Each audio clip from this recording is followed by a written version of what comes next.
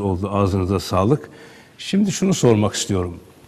Ee, bir takım insanlar Hazreti Muhammed'in e, akıllı bir insan olduğunu, Kur'an'ı kendisinin yazdığını, hatta Tevrat'tan, İncil'den, başka dinlerden esinlendiğini e, ve böylelikle vahiy diye bir şeyin olmadığını, Allah'tan gönderilen bir kitabın olmadığını söylüyor, iddia ediyorlar. Sizce bir felsefeci olarak yani akli deliller, veriler üzerinden yola çıkarak acaba Kur'an'ın Allah'ın gönderdiği bir kitap olduğunu nasıl kanıtlayabiliriz? Bu hususta neler söyleyebiliriz? Bu tabii önemli bir e, mesele. Bu önemli meseleye yaklaşımda birkaç farklı şekilde olabilir. Birkaç farklı şekilde cevap verilebilir. Temel e, metot olarak birkaç farklı şekilde cevap verilebilir. Ama bunu da ben tabii bugün biliyorum yine çok konu konuşmak istiyoruz. Bu konunun e, hakkında sırf saatlerce konuşabiliriz. Nereden anlaşılabilir Kur'an'daki ayetlerden.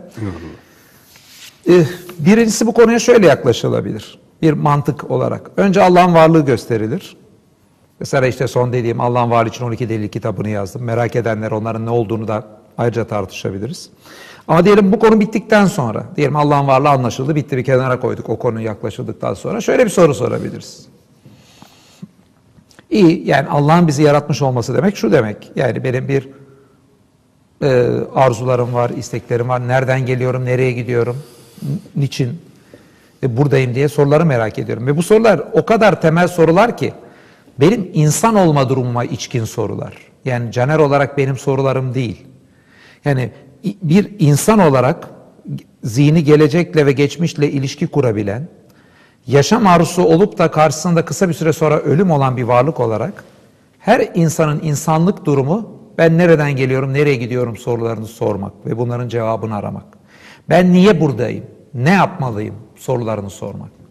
Bunu böyle düşündüğümüzde yani insanın yaratılmış olması demek Allah'ın varlığını anladığınızda insanın bu şekilde Allah'ın yaratmış olması demek. Yani Allah bizi aslında nereden geliyorum, nereye gidiyorum, niçin varın soruları merak edecek şekilde yaratmış. Bak burada bir bardak var. Sağ olsun su getirmişler. E bu bardak merak etmiyor yani öyle bir şey gibi gözüküyor. Nereden, niye ben buradayım? Nereden geliyorum, nereye gidiyorum, bana ne olacak diye soruların merakı.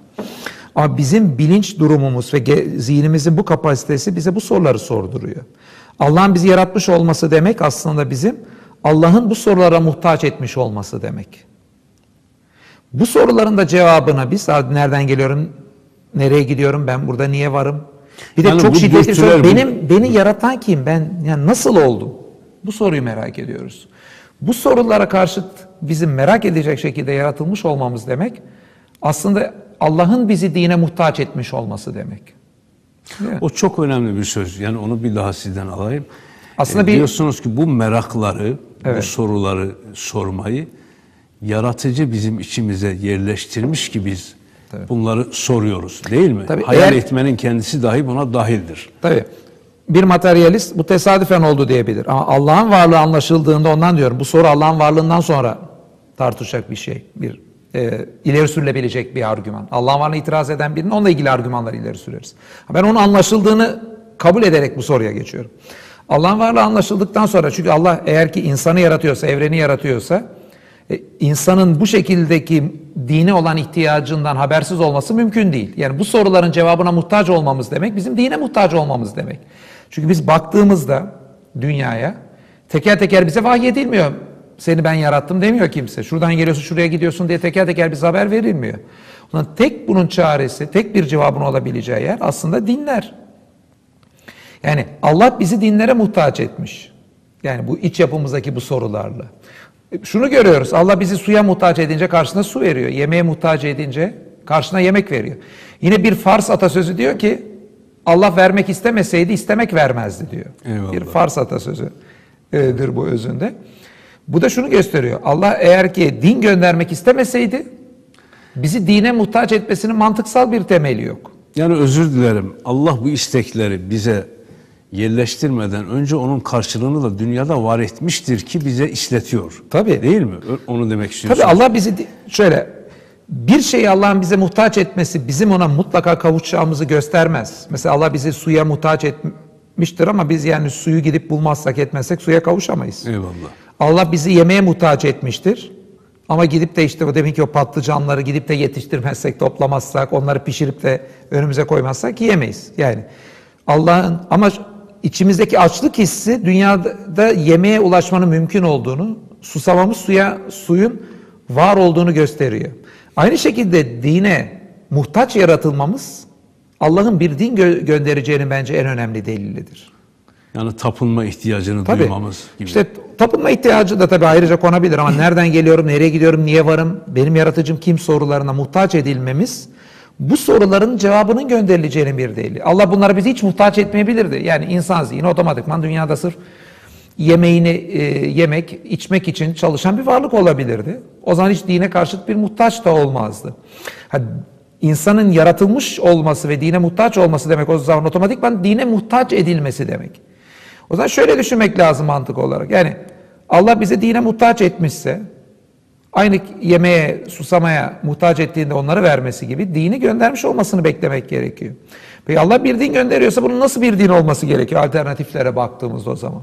Ha, alternatiflere baktığımızda herkes Allah'ın varlığıyla baştan anlıyorsam bunun Allah'a merkeze koyan bir din olması lazım. Allah'ın varlığının her şeyden önemli olduğunu gösteren bir din olması lazım. Zaten bu kriteri koyduğunuzda dünyada İslamiyet, Hristiyanlık, Yahudilik gibi dinler dışındakiler eleniyor otomatikman. Bir bakıyorsunuz e, işte mesela Budizm Allah var mı yok mu önemli değil o soru. Yani bu dünyada sıkıntılarından kurtulmaya bak diyen bir din. O zaman Allah'ın varlığını anladığımızda ise onları otomatikman ediyorsunuz. Materyalist e, yaklaşımların, salt Allah'ı inkar eden yaklaşımların hepsini eliyorsunuz. Gerçek anlamda Allah'ın varlığının her şeyden önemli olduğunu söyleyen, bunu merkeze koyan, bu işte bizim tek tanrılı dinler dediğimiz şey. Bunu anlayan bir kimse bence zaten içerik olarak da o zaman Kur'an'ı geri kalan kitaplarla bu mantık üzerinden e, karşılaştırdığında Kur'an'ın Allah'ın gönderdiğini anlaması çok çok kolay olacaktır. Bak bu birinci yol. Bu şekilde gidilebilir. Ama bir de ikinci yol var. Direkt yani bu şekilde önce Allah'ın varlığını anlayıp Allah'ın bir din göndermesi mantıklı olduğunu anlayıp da dine gitmektense ikinci bir yol direkt Kur'an'ın içeriğini inceleyip bunu o dönemde bir insan söyleyebilir mi üzerinden bir şey. Bir baktığımızda mesela Kur'an'ın içeriğine yine işte demin bahsettik peygamberimizin indiği dönemde Babiller gibi dedik gözlemler yok, eski Yunan gibi felsefe yok, bilim yok. Yani kendisinden önceki birçok toplumdan bile geri bir toplumda geliyor İslam. mimari açıdan, sanat, her açıdan geri bir toplum. Bu tarz bir ortamda bir bakıyorsunuz ortaya konan Kur'an'da evrenin genişlediği gibi muazzam bir bilgi var. Fizik açısından baksak tarih boyunca birçok felsefeci evren sonsuzdur demiş. Aristo gibi bir kısım evrenin dinamik sınırları var demiş. Ancak 1900'lü yıllarda biz sürekli genişleyen bir evrende olduğumuzu anladık.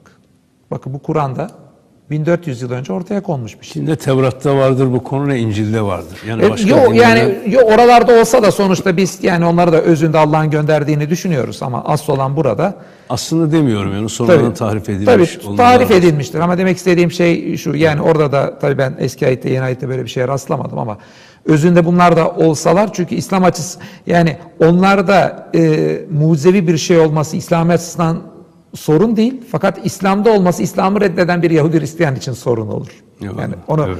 e, yakalamamız da lazım ayrıca. E, diğer taraftan bir bakıyoruz evrendeki tabi Big Bang teorisinin bize gösterdiğine göre her şey başlangıçta bir bütün.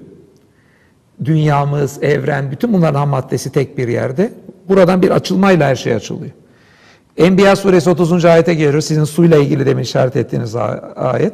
İşte orada yerle gök bitişikken onları ayırdığımızı görmezler mi diyorlar. Bir ratk diye bitişik sonra fatk diye bir ayrılma durumu olduğu ayette geçiyor. Bir bakıyorsunuz kozmolojiyle ilgili böyle inanılmaz bilgiler veren Kur'an. Bir başka ayete bakıyoruz. Mesela denizlerle ilgili çok ilginç bilgi veriyor. Bir benzetme yapıyor Kur'an. Nur suresinde. Bir karanlıklarla ilgili. Öyle bir karanlık ki diyor işte falanca elini kaldırsa bile göremez. Ve onun üstünde denizlerin altında bir karanlık. Bak dikkat edin. Denizlerin altında bir karanlıktan bahsediyor Kur'an. Elini kaldırsa bile göremez. Ve üstünde dalga üstünde dalgalar vardır. Böyle böyle bir anlatım var Nur suresinde. Şimdi ben onu düşünüyorum. Ben hayatı deniz kenarında geçmiş bir insanım. İstanbul'da doğdum, büyüdüm. Ve denizde de yüzerim. Yani küçüklüğümden de biri yüzerim, dalarım da denizin altına ama karanlıkla ilgili bir örnek ver deseler bana ya bodrum katını veririm, ona benzer bir şey veririm. Denizin altını vermek hiç düşünmem ne çünkü denizin altı karanlık değildir bana göre. Yukarı, çünkü ben yukarıdan bir denize bakan biriyim. Dalarım da 1-2 metre altında da hala balıkları gö- görüyorum yani açık gözle bile e, baktığımda eğer ki balık varsa dibinde. Eğer ve de su temizse. E, ama ayetteki inceliği ince incelediğimizde görüyoruz ki mesela günümüzdeki tabi bilimin de geliştiğinde bize verdiği verilerle güneşin ışığı suya vurduğunda kırılıyor kırılıyor. Suyun yani ışığın ışık suya vurduğunda kırılıyor. Gittikçe ışığın belli bölümleri gidiyor. En sonunda mavi kısmı ışığın gidip denizlerin dipleri, derin denizlerin dibi kapkaranlık. Ve dünyanın da dikkat edin üçte ikisi okyanuslarla kaplı. Büyük bir kısmı dünyanın aslında denizlerin altı karanlık. Ve dünyadaki en büyük karanlık alan aslında düşünürseniz denizlerin altı.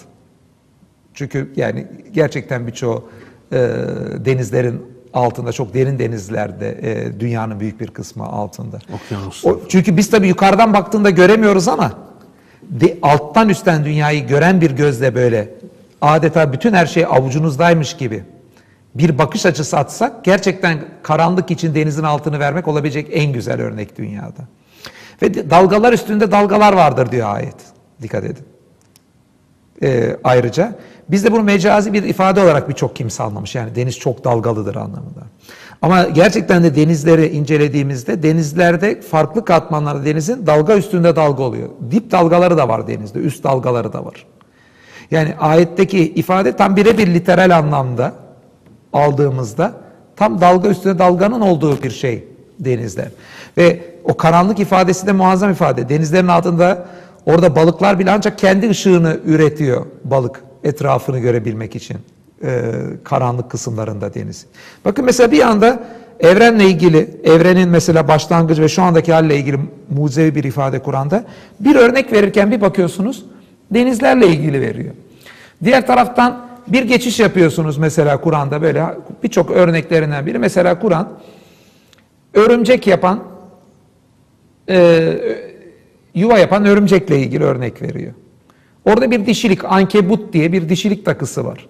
Fiil çekimleri de dişi çekimleri var fiilin. Yuvasını yapan örümcekte. E, Yani nedir bunun hikmeti diye birçok kimse düşünebilir. Ha biz gerçekten mesela böcekler dünyasında e, örümceği incelediğimizde görüyoruz ki örümceklerde ağırlıklı olarak yuvayı yapanlar e, dişi örümcekler. O yüzden yani ayette Allah'tan başka dost edinenlerin durumu örümceğe benzetiliyor. Örümceğin yuvasının işte çürük olmasından benzetilirken orada dişi örümcek e, atıfı var. E, oradaki görüyoruz ki yani örümcek dünyasında örümcek evi, evi yapanların çoğunluğu dişi olduğu için temelde yuvayı yapan dişi olduğu için bir de en güvenilmez ev yani en çürük o şeyi de iki türlü anlarız. Yani evin en çürüğü dişi örümceğin evidir diye ayette geçiyor.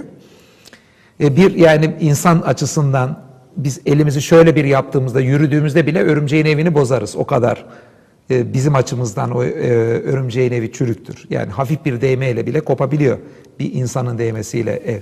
Ama diğer bir açıdan da evin bir de güvenilmezliği belki asıl anlamı ev zayıftır, dayanıksızdır anlamda ama bir de güvenilmez bir evde dişi örümceğin evi. Niye? Çünkü dişi örümcek kendi erkeğini bile yiyen bir varlık türü. E, işi bittikten sonra. Yani e, o örümceğin evine giderse başkaları çünkü insanların evi veya bizim ev bildiğimiz şey aslında insanların buyur edildiği bir dost, sıcak yuvadır. Ama o eve bir yabancı böcek bir şey girerse onun sonu oluyor. O kadar orası bir güvenilmez bir alan ki dişi örümceğin evi kendi erkeğini bile yiyor. Hatta yavrularını bile kimi zaman yediği söyleniyor. Olabilir yavrularla ilgili bilmiyorum olabilir ama erkeğini yediğini biliyorum. Şey önemli yani burada dişi örümcek takısının ne kadar yerinde olduğunu anlıyoruz. Hem yuvayı yapan dişi olduğu için hem böyle bir özellik olduğu için. Çünkü niye ayette de Allah'tan başka dost edinenlerin düştüğü zor duruma benzetiliyor. Yani Allah'tan yani adeta ayet öyle bir şey diyor ki Siz Allah'tan başka dost edinirseniz hani bu dişi örümceğin evine ev sanıp da sığınanlar gibi olursunuz. Bak o eve sağ o ev çürük bir ev. Bir anında yıkılıyor, bozuluyor birinin değmesiyle ama aynı zamanda o ev o dişi örümceğin kendisi kendi dostunu, erkeğini bile yediği için her evine konanı da yiyip bitirdiği için e, güvenilmez bir ev. Allah'tan başkasını dost edinirsen o dostlarda da senin başına böyle felaket gelir. O örümceğin evine misafir olarak gidenin durumuna dönersin diyor. Fakat orada Kur'an o benzetmeyi kurarken orada bir dişilik takısını seçmesi bile görüyoruz ki rastgele değil. Onda bir incelik var. Veyahut da son bir örnek vereyim. Kur'an'la ilgili böyle verecek çok örnek var. Mesela dedik evrenin genişleme durumu var. Hayvanlar dünyasına gidiyoruz. Denizlerin altına. Bu kadar ayrı alanda Kur'an birçok izah yapıyor. Hiçbirinde e, çuvallamıyor. Bilimle Hepsine tam aykırı hiçbir isabetli görüş, evet. yapıyor. Anne rahmindeki gelişim aşamalarına bakalım. İnsan yaratılışı. Mesela işte orada alak kelimesi var. Eyvallah. Çok kimsemizin bildiği asılıp tutulma. Ki onun başlangıçtaki nutfenin sonraki bir dönemi olarak Kur'an Eyvallah. tarif ediyor. E baktığımızda gerçekten anne rahmindeki ilk dönemlerde e, embriyo ana rahmine yapışıyor. Alaka Arapçada aslında asılıp tutulmak anlamında temel anlamı. Ki yan anlamlarından biri de sülük alak kelimesinin. Gerçekten asılıp tutunuyor ve gerçekten de sülük gibi ilk haftalarda embriyo anne rahminde o şekilde besleniyor. Daha sonra işte plasentada ortaya çıkıyor. Bebek e, anne rahminin içinde bugün hani o resimlerde gördüğümüz hale alıyor. Ama başlangıçta gerçekten bir alak aşaması yaşanıyor. Kur'an'ın da o asılıp tutulma kelimesiyle alak kelimesiyle ona işaret etmesi bence olağanüstü bir durum. Yani şunu diyebilir miyiz? Birkaç sorum daha var vaktimiz Tabii tabii. O zaman yani ben Diyorsunuz Kur'an'ın Allah'ın kitabı olduğuna dair en önemli iki delili vardır. Birisi Allah tarafından gelmek yani yaratıcıya iman ettikten sonra mutlaka bunun bizimle ilgili içerimize yerleştirmiş olduğu o duyguları, istekleri yönlendirmek için bir yol haritası göndermesi gerekir ki bu da kitaptır. Tabii ben onu hızlı geçtim. Diyoruz, Bir evet. dediğiniz gibi ama yani birinci metot şu. Allah'ın varlığını anladıktan sonra Allah'ın varlığını gösterip de Kur'an'a geçmek. O zaman da bir Allah insanı dine muhtaç etmiş. Buna ne cevap veriyor diye baktığımızda Eyvallah. ve tabii ki o sistem Allah'ın varlığını anlayarak buna geçtiğimiz için Allah'ı da merkeze koyan bir sistem olması bekleniliyorsun. Eyvallah. E, Kur'an bu konuda zaten rakipsiz kalacaktır. Eyvallah. E, başka tip şeyler de olabilir. Yani Allah'ın varlığını anladıktan sonra Allah merkezli bu evreni açıklayan dünyada hangi sistem var en güzel şekilde? Allah'ın hayatta olabilecek en önemli ol- şey olduğunu kim merkeze koymuş diye sorusunu sorsak ki Allah'ın varlığını anladıktan sonra bu otomatikman böyle olduğu anlaşılır. Orada da Kur'an e, ön plana çıkacaktır. Ama bunlar benim yukarıdan aşağı dediğim metotlar. Allah'ın varlığına Kur'an. Bir de Kur'an'ın içinden gidiş Bilgilerden, metodu var. eyvallah. O bu son yaptığın gibi Kur'an'ın içeriğini incelemek üzerinden bir şey. Mesela Peygamberimizin dönemindeki bir insanın veya bir insan topluluğunun bu şekilde bir kitap oluşturmasının mümkün olmadığını ortaya koymaya dayalı bir metot ikincisi. Yani 1400 sene önce verdiği bilgileri son asırda bilim ancak yeni keşfetmiştir, doğrulamıştır. Bilimle muayir olan bir bilgisi söz konusu değildir Yani diyorsunuz. 6200 küsur ayet var Kur'an'da. 6200 civarı olan bu ayet de belli bir şekilde evrene giriyor, hayvanlara gidiyor ve Kur'an hiçbir konuda tökezlememesine, yanlış bir izah yapmamasına karşı bu kadar ufak tek bir kitapta bu kadar mucize çıkıyor. Yani böyle yüzlerce cilt eser var. O yüzlerce ciltte söylenmiş yüzlerce cümleler var. O cümlelerin bir iki tanesi çekiştirilip de çıkan bir anlam değil bunlar. Eyvallah. Tek bir kitap, çok da kalın olmayan bir kitap dediğin gibi. Yani orta bir kitap boyutunda bir kitap. O kitapta evrenle ilgili sınırlı ayetler var değil mi? Namazla, oruçla, işte öldükten sonra ne olacağıyla ilgili, ahlakla ilgili de bir sürü ayet var. Evrenle ilgili sınırlı ayetler. Bu tek bir kitaptaki bu sınırlı ayetlerin içinden bahsettiğim olağanüstü ifadeler çıkıyor. Bunu çok iyi yakalamak lazım. Ve tek bir kitapta bu kadar ayrı alanla ilgili bu şekilde ifadeler var. Ve tabi burada almadığım daha birçok şey var. Tabii